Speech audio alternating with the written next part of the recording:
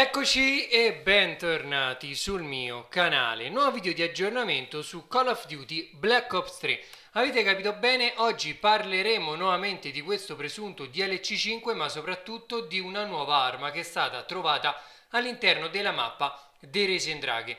Andiamo come sempre a piccoli passi. Prima di iniziare cerchiamo di raggiungere almeno i 300 mi piace per il prossimo video di aggiornamento sul mondo di Call of Duty.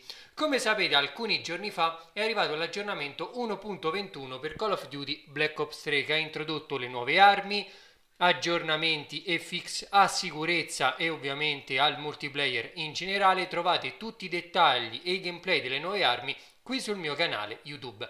Ma questo aggiornamento è stato molto importante perché a quanto pare ha sbloccato un'arma che non si capisce se sarà introdotta quindi se sarà reale oppure un glitch all'interno della modalità zombies di Call of Duty Black Ops 3. Vi ricordate l'arma che era possibile utilizzare all'interno della campagna, quindi questa sorta tipo di lanciamissili, una sorta di proprio lanciamissili della campagna? Bene, è stato trovato all'interno della cassa, quindi della mystery box nel multiplayer di Call of Duty Black Ops 3. La cosa interessante è che questo launcher, quindi quest'arma, questo lanciamissili, è stato trovato soltanto nella mappa dei Resendraghe. Quindi sarebbe da capire se è un glitch, ma penso proprio di no, ma è proprio l'indizio di una nuova arma, di questa nuova arma che abbiamo potuto utilizzare all'interno della campagna, finalmente sbarcare all'interno della modalità zombies e non oso immaginare che danni possa fare quanti zombies